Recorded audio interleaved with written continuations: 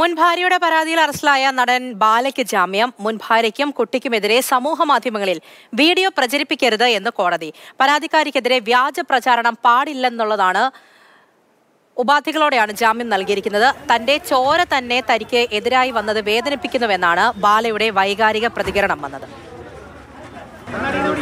ഞാൻ കോടതിക്ക് വരുന്ന മുമ്പേ മൂന്നാഴ്ച മുമ്പ് ഒരു കാര്യം പറഞ്ഞിരുന്നു.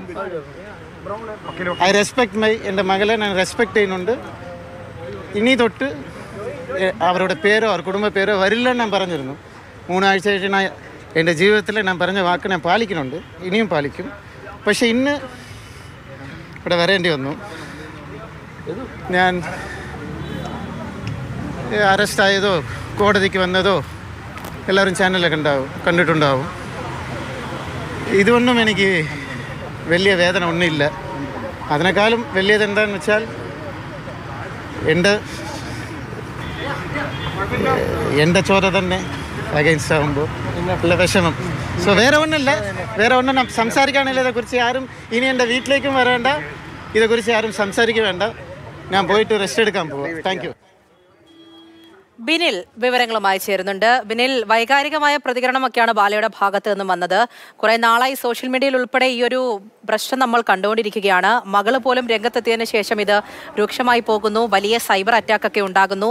ഉപാധികൾ മുന്നോട്ട് വെച്ചു എന്ന് പറയുമ്പോൾ പോലും ഈ രീതിയിൽ സമൂഹ മാധ്യമങ്ങളിൽ ഈ മുൻ ഭാര്യയ്ക്കും മകൾക്കും എതിരെ ഒന്നും പ്രചരിപ്പിക്കരുതെന്നുള്ള ഏറ്റവും പ്രധാനപ്പെട്ട ഉപാധിയും മുന്നിലേക്ക് വെച്ചിട്ടുണ്ട്. എന്താണ് കോടതിയിൽ നടന്നത്?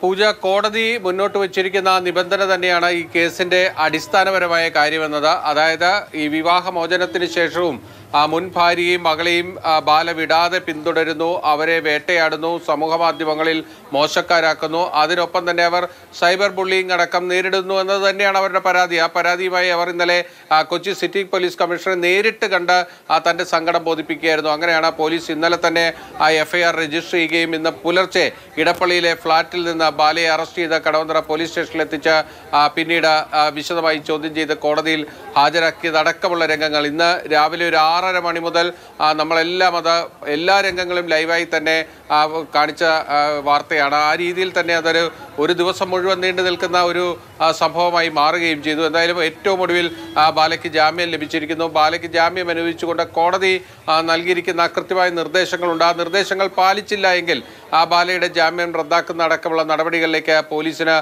പോകാനും കഴിയും. എന്തായാലും ഇതൊരു കുടുംബ പ്രശ്നം പിന്നീട് വിവാഹമോചനത്തിലേക്ക് എത്തുന്നു. ആ വിവാഹമോചനത്തിലെത്തിയ ശേഷവും അവരെ വിടാതെ പിന്തുടരുന്നു. ആ കുട്ടി പഠിക്കുന്ന സ്കൂളിൽ പോയി ശല്യം ചെയ്യുന്നു. തുടങ്ങിയതൊക്കെയായിരുന്നു ബാലയ്ക്കെതിരെ ഉയർന്നു വന്ന പരാതികൾ. എന്തായാലും ഇപ്പോഴത്തെ കോടതി നിർദ്ദേശത്തോടുകൂടി തന്നെ തുടർന്ന് അത്തരത്തിലുള്ള ഈ സമൂഹ മാധ്യമങ്ങളിലുള്ള ബാലയുടെ ഇടപെടലുകൾ ഉണ്ടാവില്ല എന്ന് പ്രതീക്ഷിക്കാം. എന്തായാലും ഇതൊരു ഈ ശക്തമായൊരു കേസായി തന്നെ പോലീസ് മുന്നോട്ട് പോവുകയായിരുന്നു. കാരണം അത്തരത്തിലൊരു ഗൗരവപ്പെട്ട പരാതിയാണ് പോലീസിന് മുന്നിലേക്ക് എത്തിയത്.